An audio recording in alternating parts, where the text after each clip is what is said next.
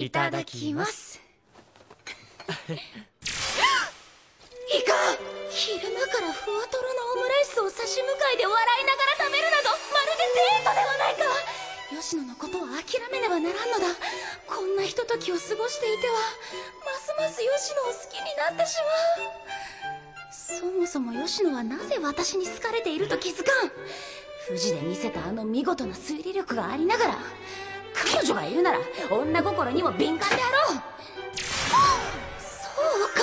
本気でついた彼女がいるから他の娘など眼中に入らんのか。そうだ。男たるものそうでなくてはならん。浮ついた心根の奴らはこちらから願い下げだ。しまった。また吉野の良いところを見つけてしまった。これでは一層好きになって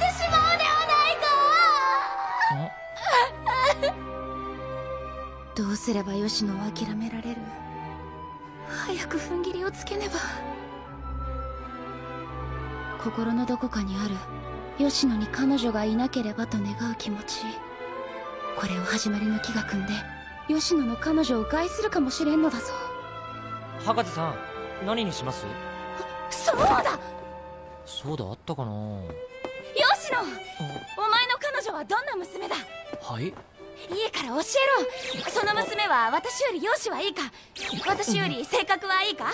私より頭はいいか？どうだ？そそんないきなり。なぜ気づかなかったのだ？吉野ほどの男の彼女だ。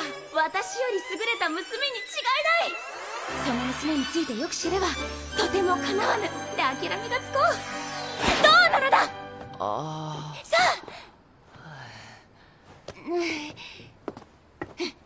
そうですね。彼女はとても綺麗な子でいやあだったらまずいのではないか？私と二人きりで何週間も旅行など嫌味っぽいその彼女なら怒り狂っているであろう。心配ないです。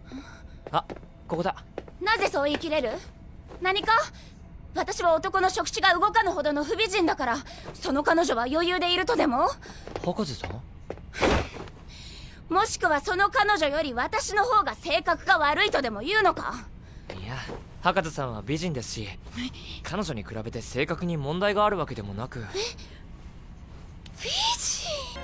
彼女にはやはり僕しかいない気がするんです。好きとか嫌いとかそういうのだけじゃなく彼女には僕が必要なんだって確信できる気持ちと言いますか。わ私だってお前が必要だ。必要だぞ。ああだからこの考えはいかんのだ。吉野の彼女の身柄を抑えよう。彼女？あ。未だに吉野は彼女について誰にも教えていない。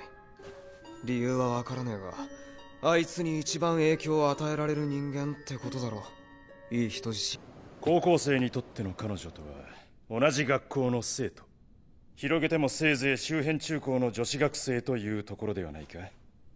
そういった女学生との接点は。その線は微妙かもな。何度か彼女を紹介しようと。厳しいんだね妹さん。つまり滝川吉野の彼女は噂に惑わされずその本質を見抜けた娘か。あのなんでホワイトボードが？正気は必要だろう。初期っててかさ一番親しい真宙君に彼女のこと隠してるっておかしくないですか？なら隠しておく十分な理由があったんだ。知られると恥ずかしい相手とか。学校の女教師。ならば親友にでも話しづらいだろう。世間体もあって隠していたという理由も考えられる。あのさ。ならば人妻はどうだ？残念ながら俺と吉野が知ってる人妻ってのは思いつかねえっとそういう問題じゃなくて。父はどうかな？父？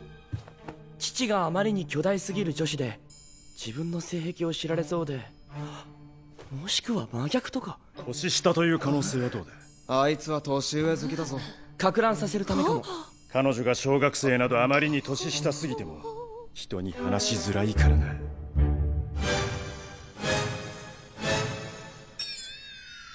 これ書き出す必要あるのかな？羽村お前も何かないか？えっと学食のおばさんとかいいんじゃない？それはねえだろ。ふざけるのは良くないよ。もっと真剣になれ。君たちに言われたくないよ！吉野。はい。私はお前が好きだ！はい？恋というレベルではない恋と表現される最上級のドキドキレベルの好きだ。今もお前を抱きしめたいとか耳たぶに触れたいとか思っておるのだぞ。耳たぶを？じれったいやつだな。私には始まりの木の加護があるのだぞ。始まりの姫にあたる私がお前を我が物にしたいと欲しているのだ。お前に彼女がいるのが腹立たしくその娘さえこの世にいなければと思ったりするのだ。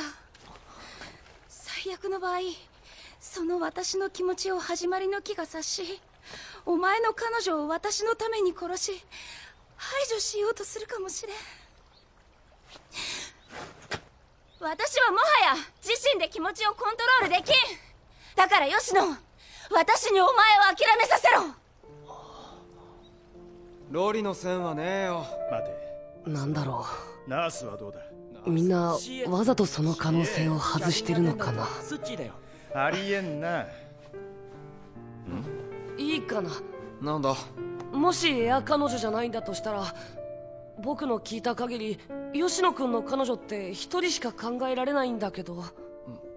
一人って？そうか。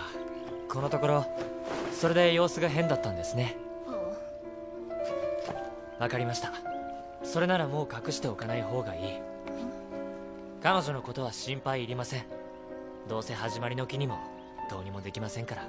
そんなさらっと理屈に合わんことを言われても安心できんぞ。理屈には合ってます。1年前に死んだ彼女の何を今さら心配する必要があるんです？吉野君の彼女真宙君の妹さんじゃないかな